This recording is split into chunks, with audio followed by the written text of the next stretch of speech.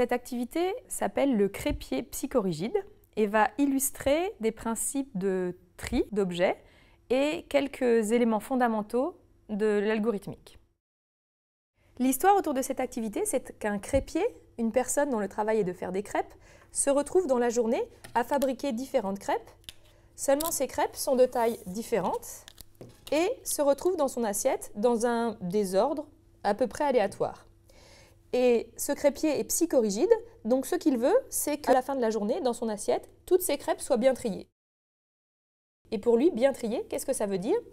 Ça veut dire qu'elles doivent être mises dans l'ordre, de la plus grande en bas à la plus petite en haut, en une belle pyramide. Les contraintes sont de deux types. La première, c'est que son plan de travail est occupé. Donc il n'a pas le droit de poser des crêpes à différents endroits le temps de faire son tri. Ça, c'est défendu. Une autre chose, c'est qu'il n'a pas le droit de toucher les crêpes avec ses mains. Il a envie de les vendre, il doit respecter des consignes d'hygiène. Donc la seule chose qu'il peut faire, il a une spatule et il peut glisser sa spatule quelque part où il veut dans la pile de crêpes et retourner toutes les crêpes qui sont au-dessus de sa spatule. Par exemple, ici, je mets ma spatule sous les trois premières crêpes et je les retourne, tout ensemble. Je peux aussi retourner toute la pile de crêpes en mettant ma spatule tout en bas et en retournant toute la pile.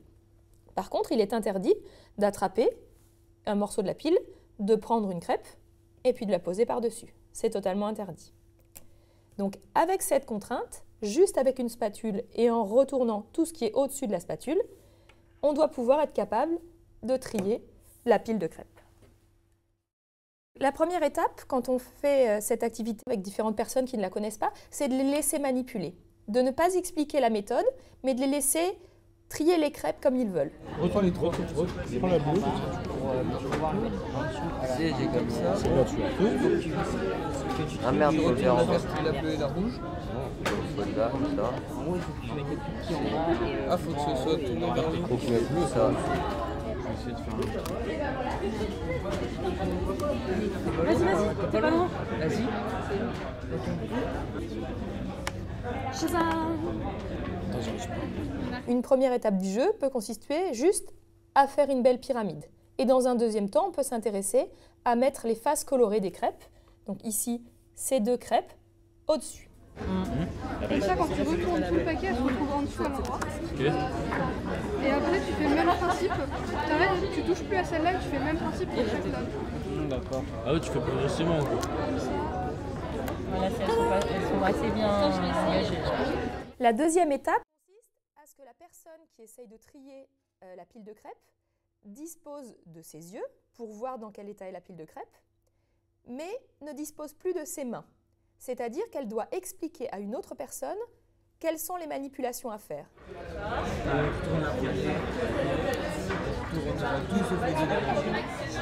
Vous mettez la spatule en dessous de la plus grande crêpe. Euh, vous retournez tout. Euh, si, la, si la crêpe n'est pas du bon côté, vous la retour- euh, si la crêpe est du bon côté, vous la retournez. Sinon, euh, vous retournez toutes les crêpes. C'est quoi du bon côté? Ah, ah, Je suis bête, moi, hein, c'est mon boulot. bah si si on ne voit pas, Là, là en l'occurrence, là. Bah, là, vous retournez tout, toutes les crêpes. Ensuite, vous mettez la spatule en dessous de la deuxième plus grande crêpe. Vous retournez. Euh, euh, enfin. euh, Non, tu voulais pas faire ça, d'accord, ok, ok, ok. Vas-y, dis-moi ce que je dois faire. bah, maintenant, vous retournez les quatre crêpes au-dessus. Enfin, vous mettez la. Voilà, comme ça. Euh, ensuite, vous mettez la spatule en dessous de la troisième plus grande crêpe.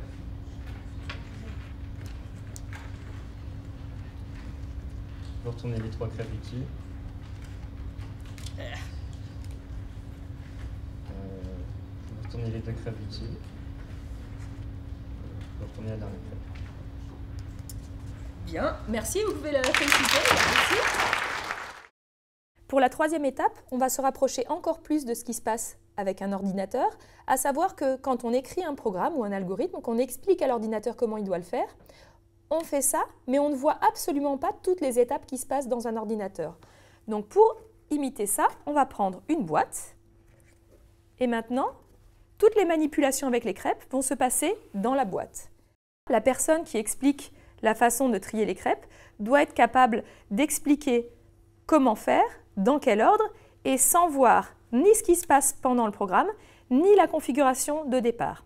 Donc il faut être capable d'expliquer cet algorithme qui fonctionne quelle que soit la configuration de départ, que les crêpes soient déjà triées ou qu'elles soient totalement en bazar. Donc du coup, ce que va faire Valentin avec beaucoup d'enthousiasme, c'est qu'il va faire la même chose, sauf qu'il ne va pas voir les crêpes. C'est parti. Alors, euh, donc vous mettez la spatule en dessous de la plus grande crêpe. Vous retournez. euh, vous retournez. Ensuite, euh, si on voit la couleur sur la plus grande crêpe, vous la retournez. Sinon, euh, vous retournez toutes les crêpes. Ensuite, vous mettez la spatule en dessous de la deuxième plus grande crêpe. Euh, vous retournez. Si on voit la, euh, couleur de la, crêpe tout au-dessus, vous la retournez. Ensuite, vous retournez les quatre crêpes dessus. Donc il y a donc trois crêpes que tu avais bien triées, et tu m'as dit de mettre en dessous de la deuxième plus grande crêpe. J'ai fait ça, et j'ai cassé tout ça. Voilà. Alors, juste je prends le micro une seconde. Donc ce que vous avez vu, vous êtes, il y en a qui étaient euh, compatissants, qui disaient pendant qu'il a dit ça. Voilà, ça c'est un informaticien qui met un 2 au lieu d'un 3 quelque part dans son programme caché au milieu de 1000 lignes de code. C'est très facile à un moment de mettre un 2 au lieu d'un 3. Enfin ici c'était un, un 2 au lieu d'un 4. D'accord? C'est très facile. Ce qui se passe c'est que si quand je continuais l'algorithme comme il me l'a dit, à la fin la pile de crêpes ça aurait ressemblé à n'importe quoi. Si je mets une erreur à un endroit dans mon programme, c'est plié et le programme il fait n'importe quoi. Donc oui, notre boulot, c'est d'écrire des programmes et ensuite de nous assurer, en les testant, etc., de voir que ça fait ce qu'on lui demande. Mais voir que ça fait ce qu'on lui demande, c'est assez difficile parce que ça peut marcher sur un cas et pas marcher sur un autre. Là, il se trouve que là, on l'a vu, le bug dans son programme. Expliquer une solution qui marche pas seulement dans mon cas ici présent, mais dans tous les cas, je dois être capable de donner des règles qui vont marcher à chaque fois. Et ces règles, ça va consister à prendre la plus grande crêpe de mon tas, donc ici c'est celle-ci, l'amener en haut. Et maintenant, quand elle est en haut, il y a deux cas possibles. Si je vois la face colorée, il faut que je la retourne. Parce que si je retourne directement le tas maintenant, la face blanche sera visible. Donc si je vois la face colorée, je la retourne. Si je vois déjà la face blanche, je ne fais rien à cette étape. Puis je retourne tout le tas. Et une fois que j'ai fait ça, ma plus grande crêpe est en bas. Il me reste à faire exactement la même chose pour les quatre crêpes qui restent. C'est ce que je vais faire. Je choisis la deuxième plus grande crêpe. Je la mets en haut, en retournant tout ce qui est au-dessus d'elle. Puis je mets sa face blanche vers le haut. Et puis je retourne tout le tas, moins la jaune qui est déjà triée. Je recommence, je cherche la troisième plus grande crêpe, c'est celle-ci. Je l'amène en haut, donc je retourne tout ce qu'il y a au-dessus d'elle. Puis je mets sa face blanche vers le haut. Puis je retourne tout le tas, moins les deux qui sont déjà triés. Ce n'est pas fini parce que mon algorithme me dit de chercher la quatrième plus grande crêpe, c'est celle-ci, de retourner tout ce qui est au-dessus d'elle, de mettre sa face blanche en haut, c'est déjà fait, de retourner tout sauf les trois crêpes déjà triées, puis avec cette crêpe-ci, de l'amener en haut, de mettre sa face blanche en haut, c'est déjà fait, et puis de la remettre en bas. Et maintenant, ma pile est triée, et la façon dont je viens de le faire marcherait quelle que soit la situation de départ, et je pourrais l'expliquer à un ordinateur qui n'aurait aucun besoin de me montrer la configuration pour savoir quoi faire. D'un point de vue informatique, cette activité est très intéressante parce qu'elle permet d'illustrer différents principes qui sont très importants en informatique. Le premier, c'est le cas où on se retrouve avec une crêpe sur le dessus, ici. Ici, j'ai trois crêpes qui sont déjà triées et j'ai envie de trier celle-là. Pour la mettre à sa place, je pourrais juste retourner ce tas, mais elle serait dans le mauvais sens. Et du coup, ce qu'il faut que j'explique à l'ordinateur, c'est que si je vois la face colorée, alors je dois retourner la crêpe. Et si je ne vois pas la face colorée, je n'ai rien à faire. Donc, c'est ce type de commande à donner à un ordinateur, on appelle ça des instructions, qui dans un cas va faire quelque chose et dans un autre cas va faire autre chose, ça s'appelle une instruction conditionnelle. Et ça, c'est à la base de tous les programmes qu'on écrit. Donc la première chose, c'est l'instruction conditionnelle. Et la deuxième chose, c'est ce qu'on appelle en informatique une boucle. Une boucle, ça consiste à répéter le même euh, ensemble d'instructions plusieurs fois. Ici, ce qui s'est passé, c'est que j'avais, pour trier ma plus grande crêpe,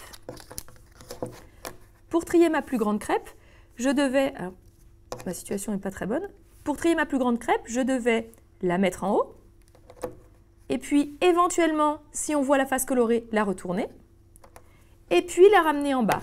Ça, c'est trois étapes. L'amener en haut, éventuellement la retourner et la remettre en bas.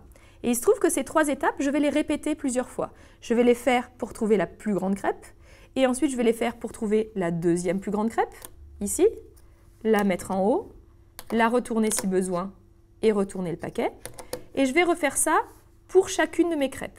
Et donc répéter ces trois instructions beaucoup de fois, ça s'appelle une boucle.